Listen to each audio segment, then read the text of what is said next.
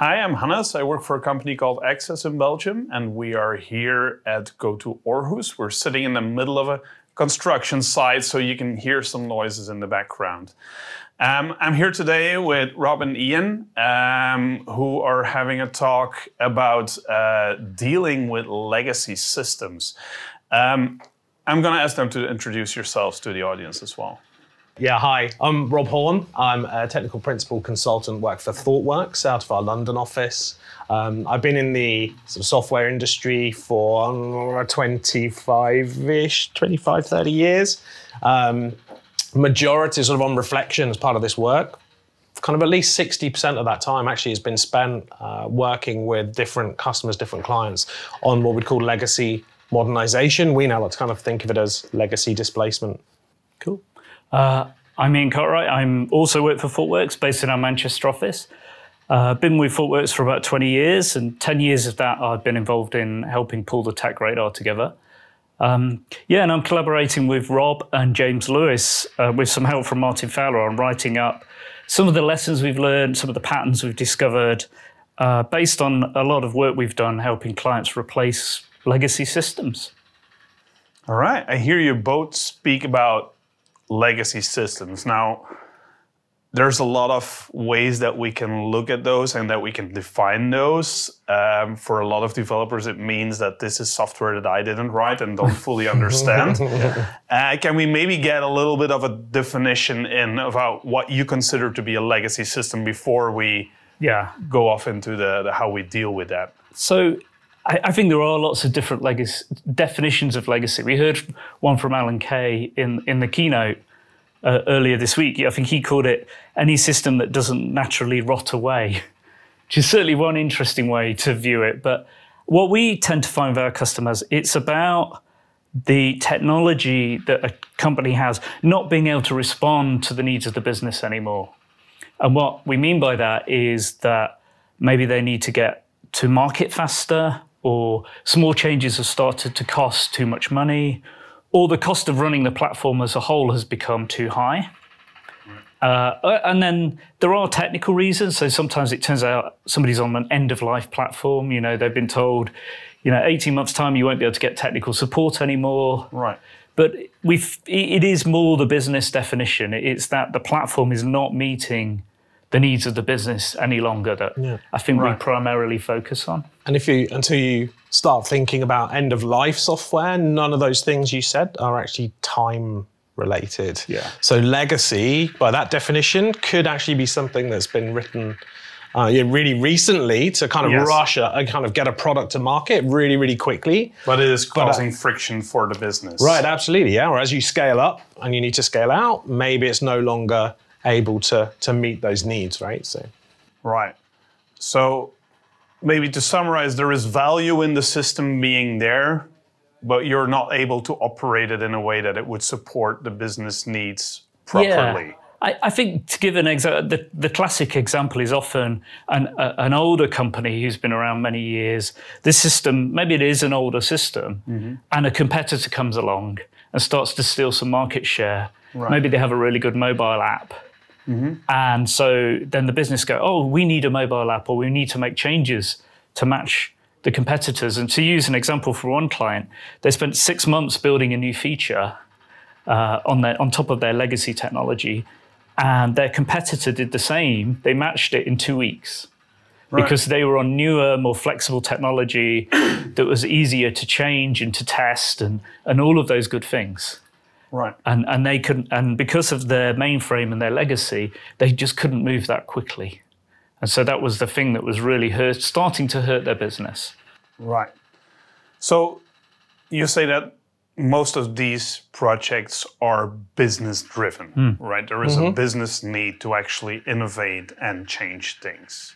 It could be innovate and change, but it could be, um, well, maybe starts as a kind of a tech led initiative, like the end of life example, actually in business terms represents kind of risk, right? Yes. And risk mitigation. Um, I was recently working with a, a, client who are operating a multi-billion pound asset and lease financing company, running middleware on what their vendor said they were the only customer left globally running this particular piece of middleware, been out of support for many years. So that represents, you know, it's a, it's a technology project. We've got to get rid of the middleware. Yes. We've got to replace our end of life software, but it's a real, real tangible risk to the business that if this thing should go wrong, they can no longer support that kind of revenue generation. So it's always business led. So when you're looking at these displacement projects, um, what is um, one of the things that people often get wrong uh, Yeah. when they try to undertake a project like that? Yeah. So one of the things we sort of see as an anti-pattern, it, it can sometimes be useful, but mostly causes trouble. Is something we've called feature parity. Right. And so the idea here is um, often, you know, IT go to the business and say, "Hey, we need to replace this platform. Uh, what do you need in the business?" The temp- they will say, "Oh, well, oh, that sounds like it could be really disruptive. Uh, I might have to retrain my people, or I don't want that. So I'll, just give me what I've got today." So Right. what happens is they, they often then build a huge requirements document that describes all the ways they do the current processes now Right. and that becomes the spec for the new system.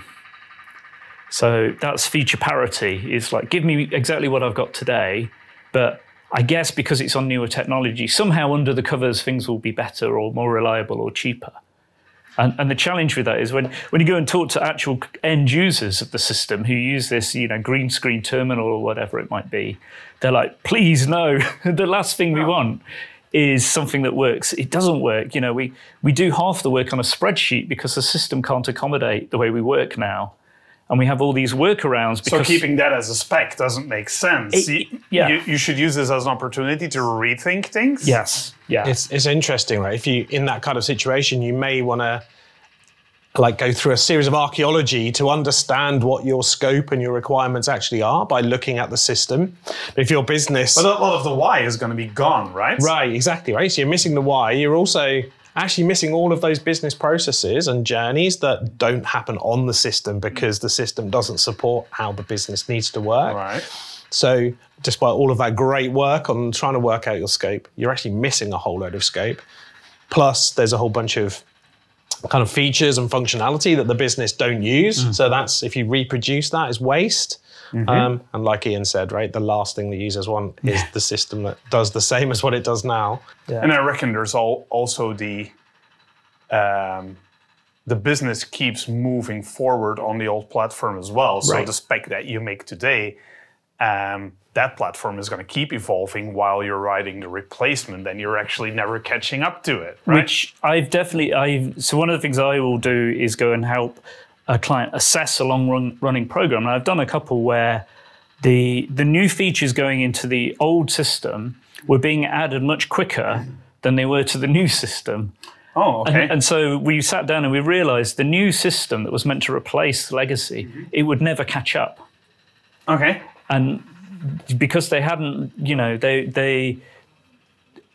Part of the reason was when you do feature parity, that often goes hand in hand with a big bang release Right. because the business, you know, like I say, they don't want the disrupt- disruption, and they think, well, I'm going to get what I've got today. So what I can do is you go away and build that for 18 months, two years, mm-hmm. and then we'll choose a weekend.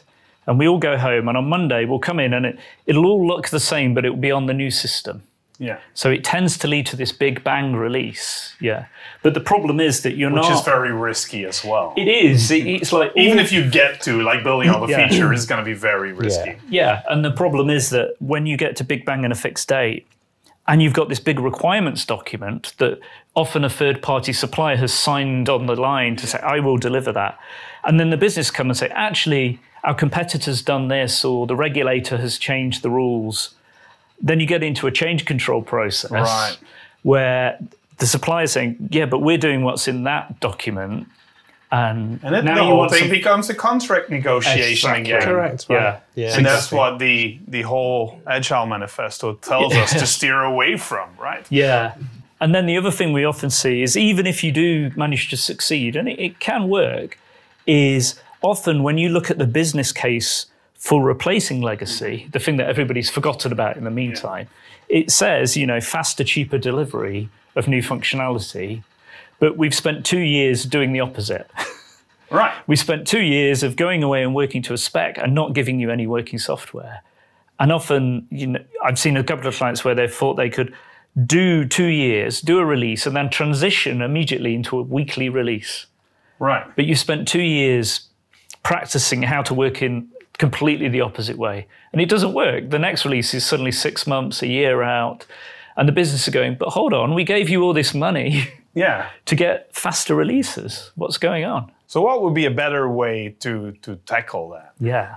Um, so there's, there's, there's probably some patterns we can talk about because it, we're not saying this is easy. This is a difficult problem. I think in terms of how you go about building the software, we're sort of the only way we've seen really to, to know that you can release frequently is to start building that way from the very beginning. Mm-hmm. You need to be able to show that you can deliver value incrementally, frequently, right from the start of the, the legacy displacement project. Right. And we just don't know another way in which you can know that you're going to get frequent software releases otherwise. Yeah. Unless you start doing it. Unless you start doing it. It's like the existence proof of faster releases is to do faster releases. But it, it does raise challenges in terms of how you break the problem apart. because in an ideal world, I guess at some point in the software you're going to integrate the old system with the new and use some uh, some functionality on the old platform, deprecate features and move them to the new. Yeah. Yeah. Something yeah. a process like that. Yeah, right, absolutely. So we want to think about how can we, like Ian said, break this big problem up into smaller pieces. Then we want to start delivering those pieces incrementally, um, whilst using the- Improving on the old technology, Impro- and- improving and uh, on gradually- the old, on the old business processes, even if we can, yeah, absolutely, right. And but, but gradually displacing Mm-hmm. the legacy rather than replacing in the Big Bang. Hence our use of that word.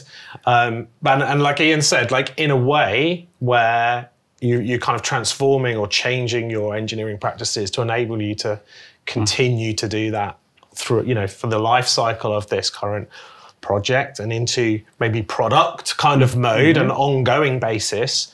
Um, to enable you to continually then change afterwards. So that, like as you were kind of alluding to, right, you've got a couple of problem sets now. It's like, well, Right. how am I going to break the problem up?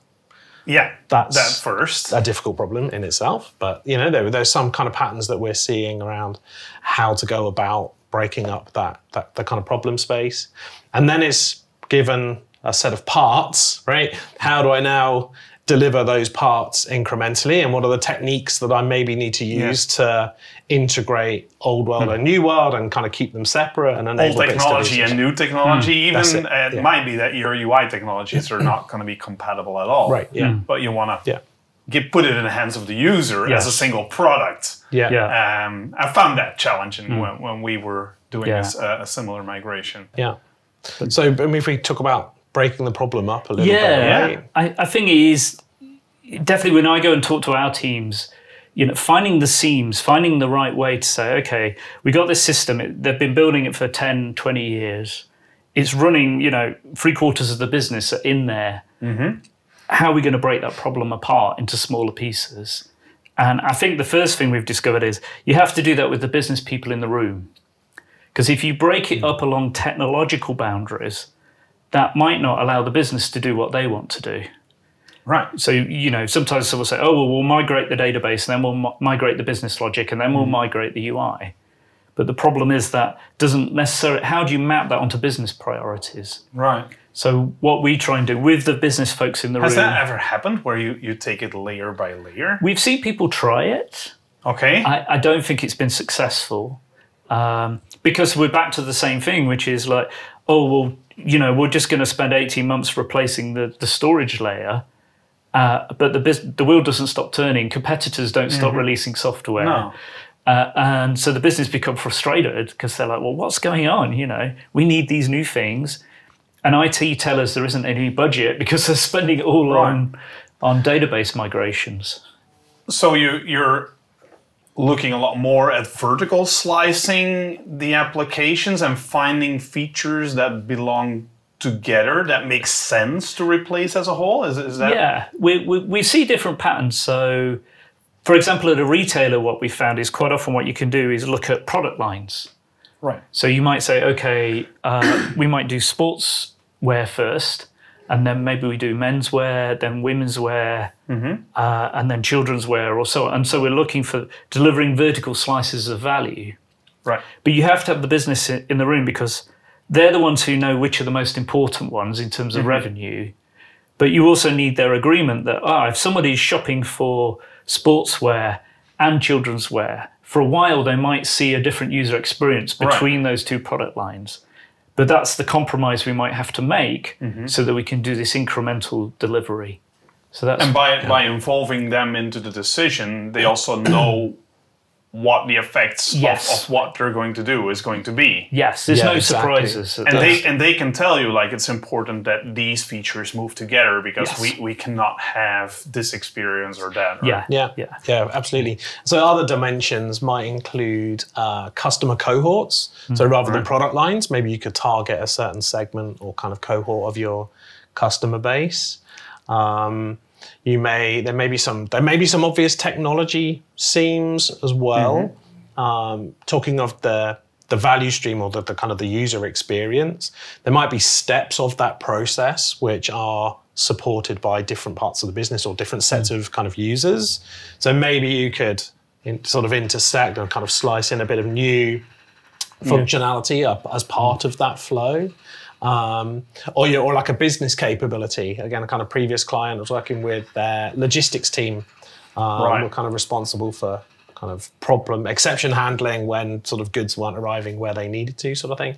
Um, yeah, we were able to prov- you know sort of provide their full suite of of, of kind of the tooling they needed to do just their Hmm. part of the job. So that was a, a user cohort, a kind of a value stream, Yes. and a set of capabilities all all in one kind of piece. So. And that means that you're moving one department over um, Yeah, possibly. this at a case, yeah. time Yeah. and focus on, on their part of the of the system. Yeah, Yeah. It- but you have to.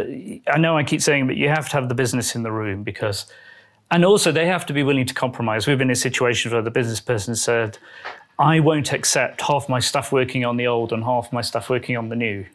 And the problem was that was gon- that was a blocker for the whole idea. Right.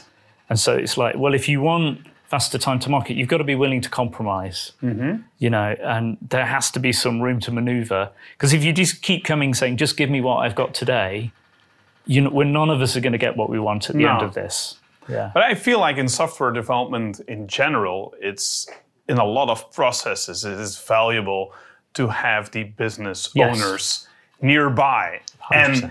and available to you um, as a team. Yeah.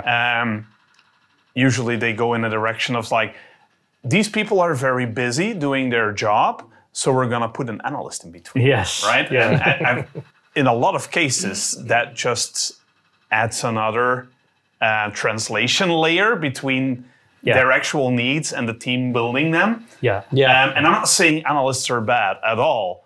Um, it's just a lot nicer if you can involve the people. Yeah. Um, Yeah.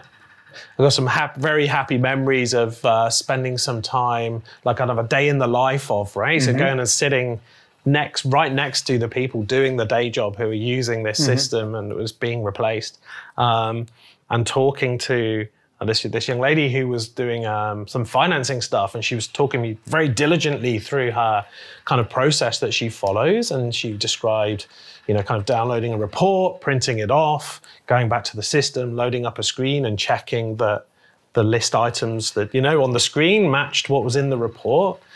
Um, and I Which could have been like a, a batch job that you automated in half a day or. right? So, and I'd, I'd been spending some time with some architects as well, and I'd kind of had to kind of just, would you just explain that to me again? Yeah. you're kind of, you're looking at this, you're looking at this. Are they ever different?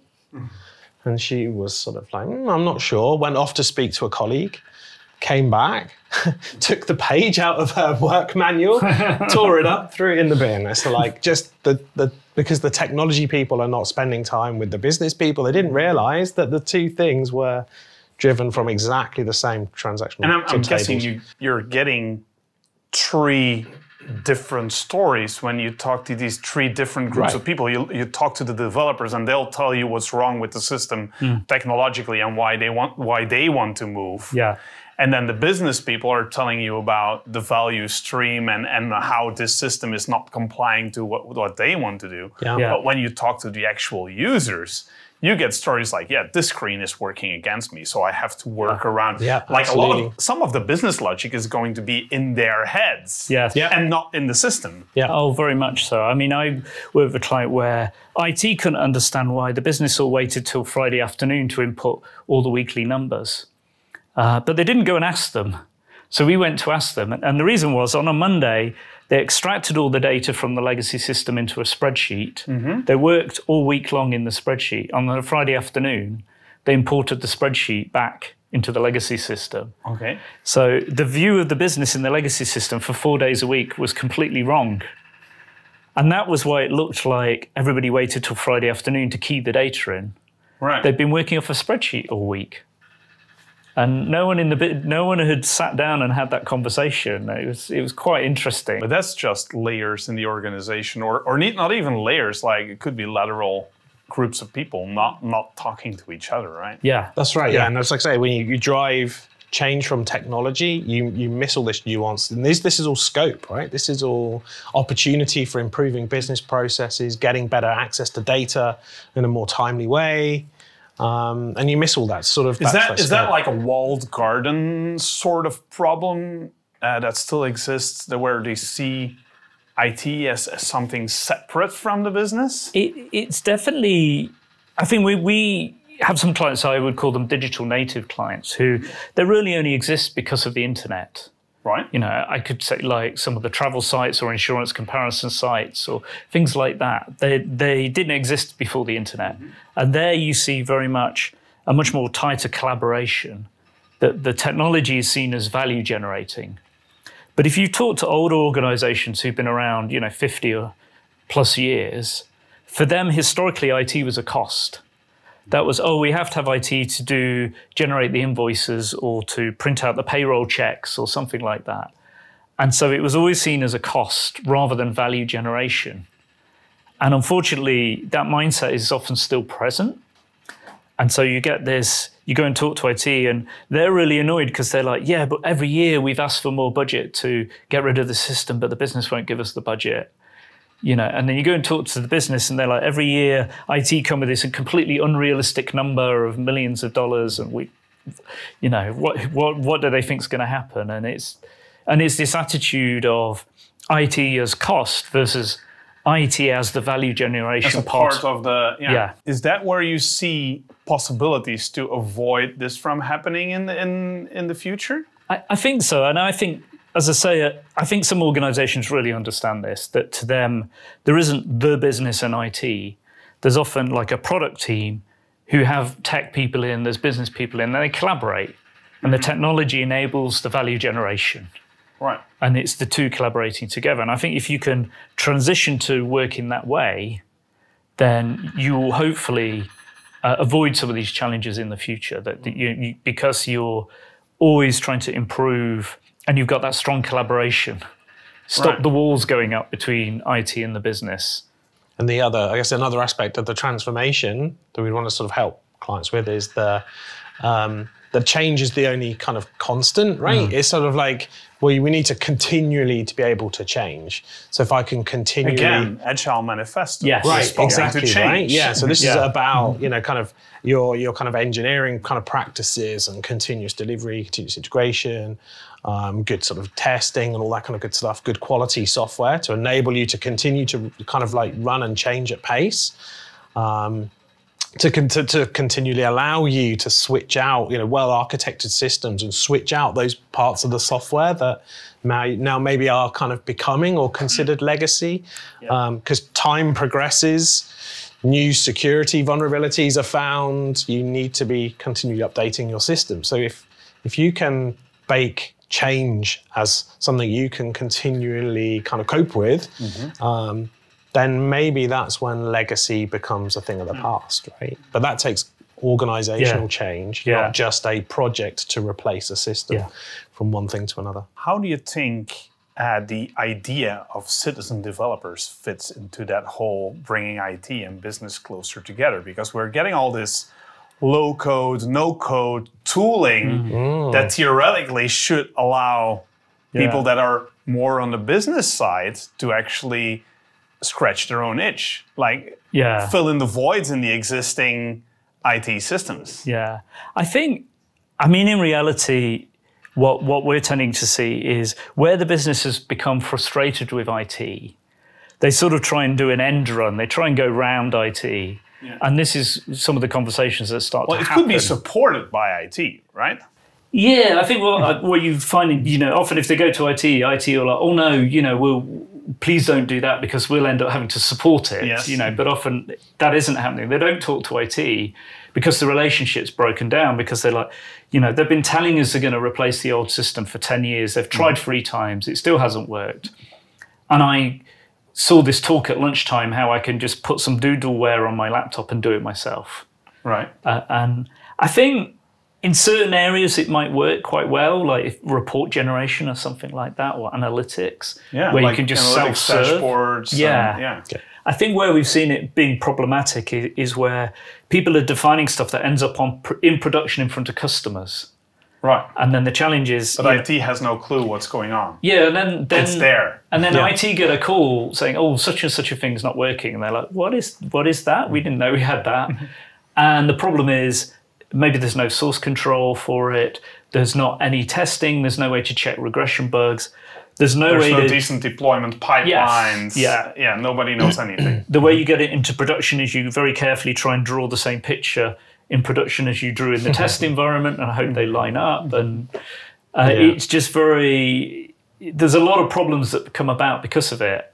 Uh, if you're doing something that is going to be customer facing, um, you, there's a lot of good engineering practice that you probably do want, and these low code platforms don't always provide that.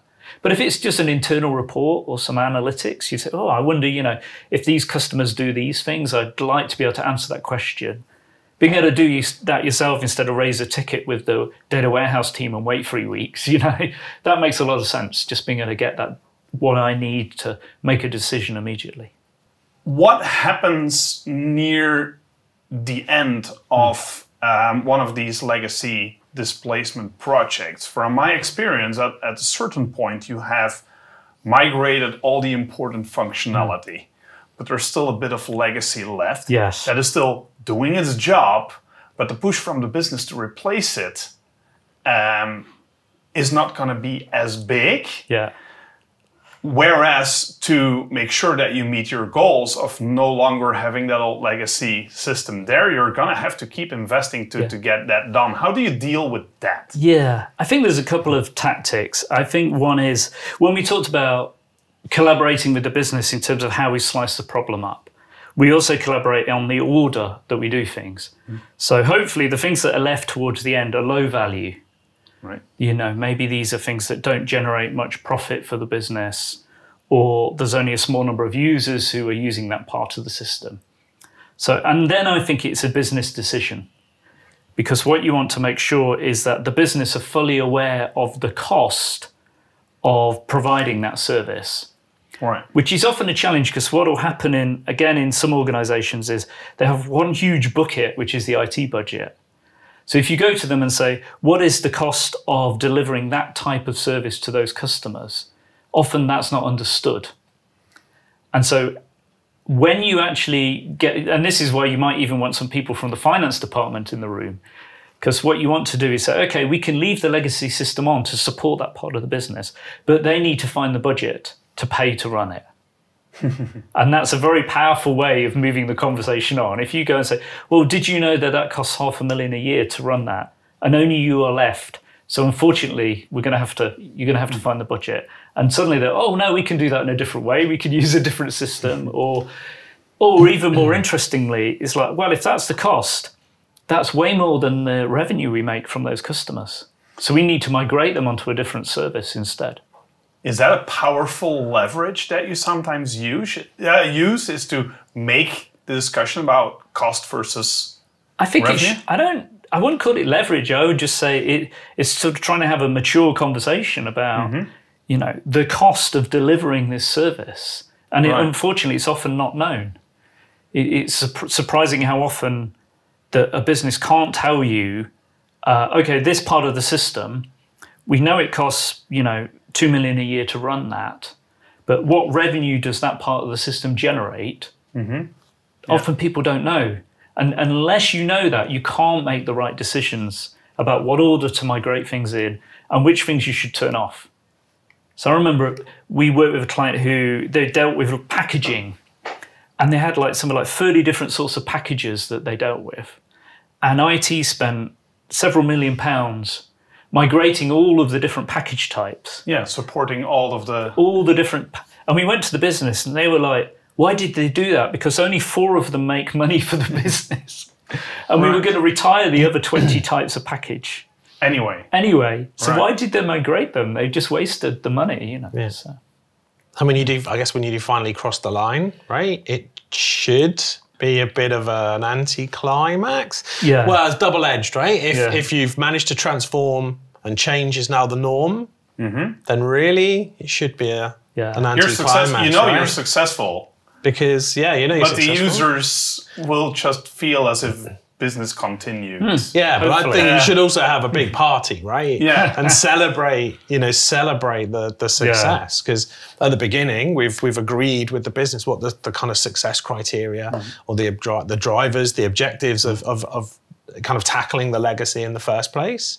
And after the marathon, because these, these projects aren't easy, right? No, These it's are- never it's are- never a three month thing. Yeah. no, right, exactly, right. It's not. I, I, well, from what Alan was saying at the keynote, there's nothing soft about legacy software. Yeah. So, Yeah. um, yeah, you, you get to the end of what is a marathon. You need to celebrate that, right? You need to celebrate. You need to call out all the people that have, have, have helped and have played their part in in kind of this this achievement, and, be- and be able to demonstrate that you have met the success criteria and. You know, transformed organization. Um, hopefully, legacy for them will be a, a thing of the past. And hopefully you've already had a couple of milestone parties Yes. along the Oh, way. yeah, of right? course, right? Yeah, Yeah. of course. Yeah. Iterative development or iterative parties. Exactly. that's that's the whole reason we do agile, right? Just to have more parties, and more celebrations. more celebrations. I think it's very important to to celebrate success with themes, um, to put it in the spotlight what people are doing.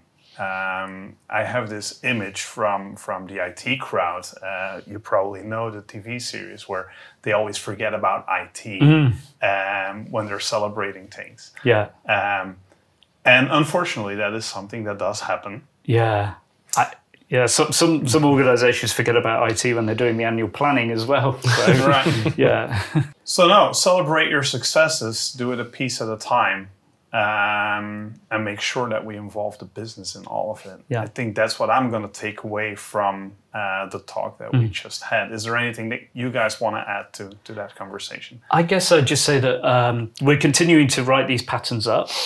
Um, so we've talked a little bit about the motivation and breaking the problem up, but there's also on Martin Fowler's website, we, we're writing up patterns that help you then implement it. So once you have decided how to slice the problem up, and we're trying to get those out every few months, although Rob and I are often very visible, very uh, busy with client work, but we're publishing those on, on Marty's website. So if people Right. are interested, they could go and have a look. They at- can go there. yeah, Okay. and read more detail on, on what we're doing. and they should come and see your talk this afternoon. Yes, this Absolutely. afternoon, yeah. Come see the talk. Yeah. Yeah.